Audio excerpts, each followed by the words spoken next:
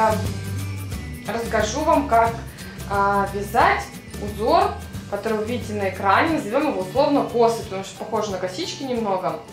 А, так как очень много вопросов, как это вязать, и схему, которую я нарисовала, она, к сожалению, не совсем понятна, а, я сейчас вам расскажу, как же это делать. А, у меня вот такая сумка, связанная этим узором, а, с использованием фермуара. Вот, она уже закончена, поэтому я вам просто на такой простой заготовке покажу, как я это сделала. Для начала вам понадобится дно сумки, если вы хотите связать ее таким узором. Вот, в моем случае это такая небольшая заготовка, кружок, который я сделала. А, также нужно будет провязать первый ряд после дна столбиком без накида.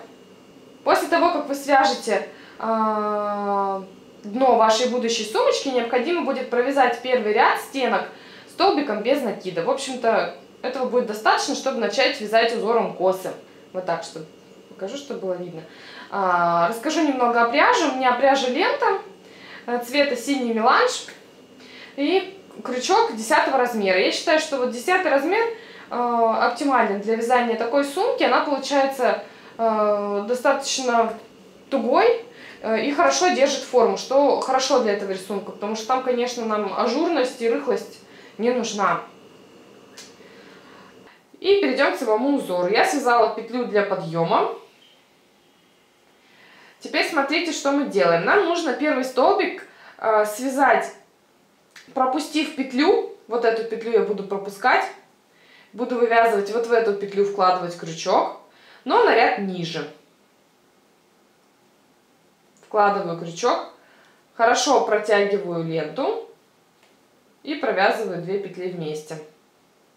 А затем столбик без накида я буду провязывать в петлю, которая находится позади. Мы ее с вами пропустили. Вот она. Сюда вкладываю крючок. Хорошо тоже протягиваю пряжу и провязываю ее. Если у вас получился такой же крестик, как у меня, значит вы все делаете правильно. Дальше повторяйте два этих действия, и вы получите узор косы.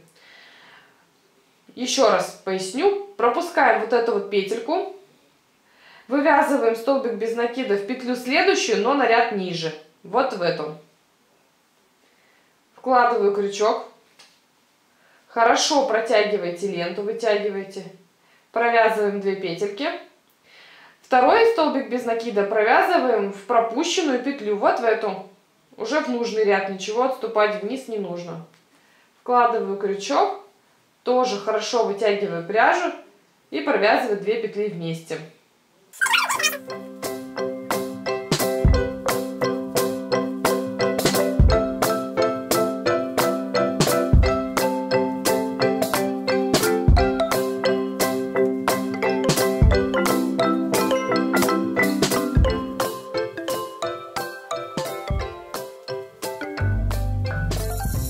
Самом деле, мне кажется, самое сложное в этом узоре это связать именно первый ряд, потому что потом вы будете уже видеть там наметанным глазом, в какое отверстие вложить в крючок. Не надо будет высчитывать эти петли, и все пойдет по накатанной. Сейчас я вам покажу, как именно вывязывать второй ряд. Петлю для подъема. Я приступаю к вязанию второго ряда. Провязала уже воздушную петлю для подъема. Отступаю одну петлю и ряд э, вниз. Вот нахожу вот такое вот отверстие. Сюда вкладываю крючок. Вытягиваю хорошо ленту. Провязываю 2 петли. Теперь обхватываю вот этот орнамент и вот в это вот отверстие вкладываю крючок. И точно так же провязываю 2 петли. Повторю еще раз обхватывайте предыдущий орнамент.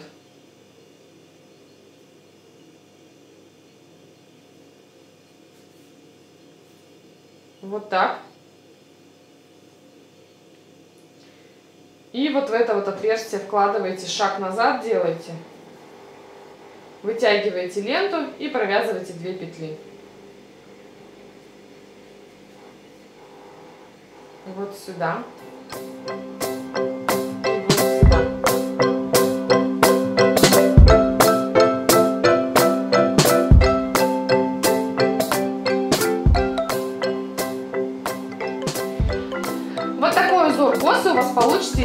Будете делать все правильно.